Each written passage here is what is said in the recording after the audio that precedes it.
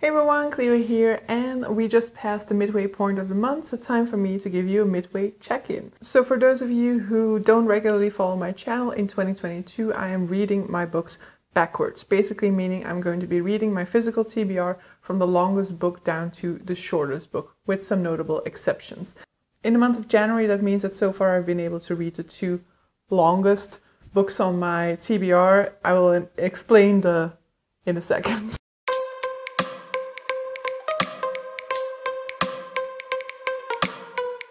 So the first book that I picked up was The Pickwick Papers by Charles Dickens. This is a book that has been on my TBR for quite a while. I had at some point picked up quite a few Charles Dickens. It was my goal to read every Dickens out there. It is still to some extent, but I don't care about that goal all that much anymore because I do start to feel kind of in a rut with Charles Dickens from time to time. And so it's definitely not a goal that I care deeply about anymore. I have read quite a few of his works at this point. I think at this point it's probably like seven or eight books, so I might as well continue. But it's definitely not something that I feel passionate about or anything like that. Now, The Pickwick Papers is his first published work, and originally this was published in installments in newspapers. That's more or less the case with most of his works. Dickens was somebody who was paid by the word, and as a consequence, a lot of times his books end up being quite chunky and unnecessarily chunky. My one of my favorites by Charles Dickens is A Christmas Carol, which is just a short story or a novella. Another one that I really quite enjoyed upon reread was Hard Times, which is also because it is shorter and it has it gets to the point more quickly which is definitely not the case for the Pickwick Papers. And in the Pickwick Papers, actually, there doesn't seem to be much of an overarching plot. So we are following these, mainly these three people who are part of a sort of gentleman club called Pickwick Papers, and we see them through different adventures. And so it's very episodic in nature, and there isn't really an overarching storyline. So it's very much to be read as a sort of like comedy TV show almost. You know, you have these different comedic scenes and you know best to be enjoyed separately i guess which is not how i was trying to read this. I was going through this in one go. And so if you are somebody who does like that type of literature then i think when you take your time with this you might really enjoy it. But for me personally i don't like episodic stuff in general I don't, for example, watch a lot of TV that is very episodic in nature. There always needs to be an overarching plot, and the more overarching plot that there is to a TV show, the more likely I am to be interested. And when it comes to comedy, that's in general already something that I'm less inclined to consume. I'm much more inclined to look at sort of like a drama show or a fantasy show or a fantasy show or something like that. So I quite enjoyed the scenes that I was reading, but at the same time, I was more or less indifferent to them and I did not feel the need to continue. I asked a friend of mine who had read this and who had kind of already indicated from the beginning when I said that I was going to read this, like, um, good luck.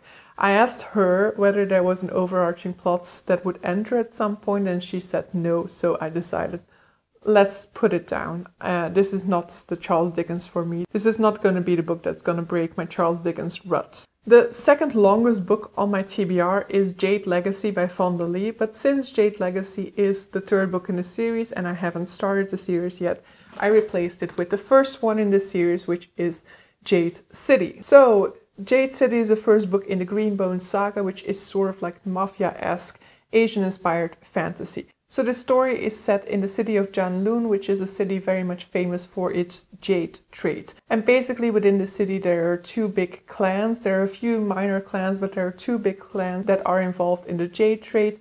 And there is very much a sort of like rivalry between these two. They used to be closely allied, they used to be on the same side, they were working together during a big war. But when the war was over and there was no common enemy anymore to fight, they started to fight amongst themselves and the and broke up into separate clans. So we're following characters from one of these clans, from the No Peak clan, and we're watching them as they maneuver this landscape as they deal with the scheming from the opposing clan. Now, I had high, high hopes for this one. I really thought it was going to be a five star read. I love Asian fantasy to begin with, and I did definitely find myself intrigued with the idea of a mafia type story. But part of the problem when it comes to my enjoyment of this one is that I was expecting us to follow people from both sides of the clans And in the end, I still liked that idea more than I liked the execution of this one. I thought it was a great book. I gave it a four star rating. I would highly encourage you to read it. I definitely enjoyed it a lot and I definitely am intrigued about where the story is going to go from now. And I'm still hoping that the next one or the one after that will give me that five star reading experience. But for me, I still was missing something. And I cannot really fully pinpoint what I was missing. One of the things that I was missing was the nuance of following people from different sides because we're only following people on the sides of the No clan. And so we have this easy divide between the good guys and the bad guys because we are only following people from one perspective. And so we don't really have a defense of the other clan. We don't really have a perspective that can make us feel connected to that other side of the conflict. And so I would have preferred that. I always like a whole lot of nuance in my fantasy. And so I was missing that a little bit. And if we're not going to be following characters from different sides of the clan, I would have enjoyed a little bit more of inner conflict within the No Peak clan. There is definitely some there, but I still felt like it was kind of mellow. So for me, I'm very much looking forward to continuing on. As I said, I really enjoyed this book. I really enjoyed a lot of it thematic. I loved uh, the characters that we were introduced to. I'm very much intrigued about one in particular, for example, so I do want to know where we're going, but I hope it's going to go a little bit darker, a little bit more brutal. The third book that I finished so far this year is Every Heart a Doorway by Seanan McGuire. This is not on my physical TBR. Basically, I'm reading all of these books for a readathon, which is Be Sureathon, hosted by Sasha from the channel The Wild Sasha.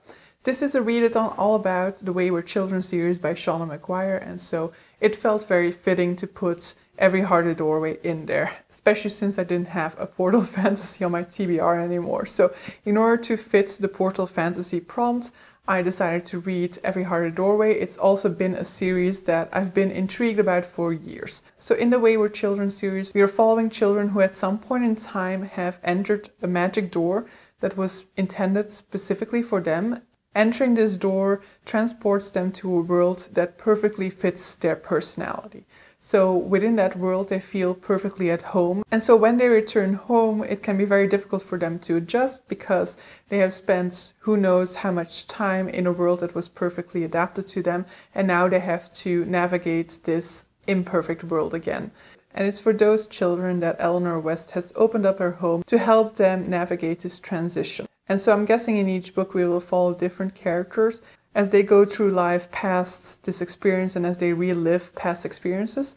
And I am definitely still gonna try at least the next book within the series, but Every Heart a Doorway, unfortunately to me, it was okay, it was good, but it didn't fully deliver, you know, I didn't get enough out of it. So I do still want to try the second book because of the fact that all of these books will be following different characters and will be discussing different types of worlds. There's a very big possibility for the first book that you read not really being your favorite because you don't really like the character that you're following all that much or because you don't really care all that much about the world, you don't really relate all that much to that character as you might to certain others. And so I do definitely still want to try out the second one and see if I have a similar experience there or whether I like it more. But with Every Heart a Doorway in particular, I just I just didn't really care all that much, you know. And I had expected to care. I had expected to really like it because I do think that the concept sounds very intriguing. But I guess I wanted more of what had taken place in the past world, what had taken place in that parallel world. And we didn't get a whole lot of that. It was very much centered around the period after. It was very much centered around the character navigate. I've, I've really I've forgotten the name of the protagonist, which is why I keep referring to her as the character.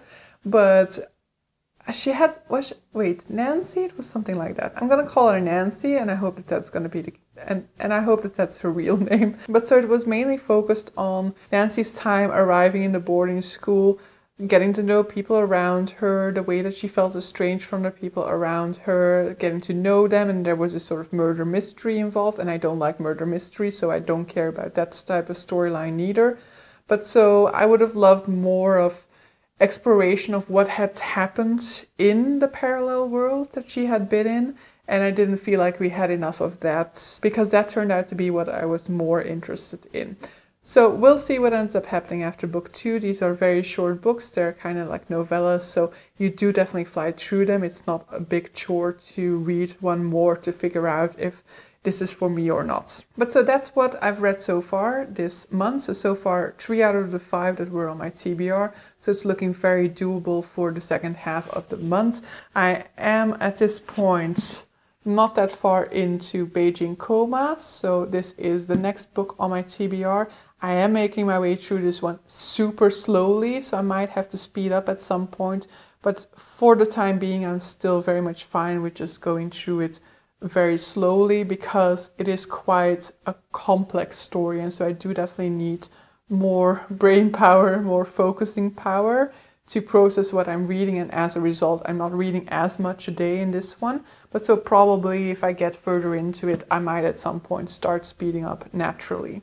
And then the other book that I'm currently reading is The Ruin of Kings by Jenn Lyons. I'm 150 pages into it. It is about 560, I think. I don't foresee any problems in finishing this one. I'm very much enjoying my reread of this one. And I've gotten into the habit of listening to the audiobook again, but I'm going to try and make it a habit to listen to the audiobook while reading physically because that was my plan. I was not going to listen to fantasy audibly as much anymore in 2022 because I find that I'm less capable of focusing on fantasy than I am on other genres.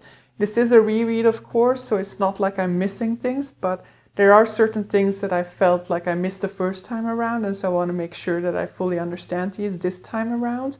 And so I preferably will be reading it physically so that I fully get all that detail um, ingrained in my mind. But so those are the two remaining books on my TBR for this month. I don't foresee a problem in finishing them. Beijing Coma, maybe if I don't speed up my reading for it at some point in time, but we'll see. Uh, if need be, that one moves into next month because so far at least I am definitely enjoying that one and I find that one to be super fascinating. It's just that it's taking me quite some time. But so yeah, that's my progress for the month so far. Definitely let me know how you've been doing.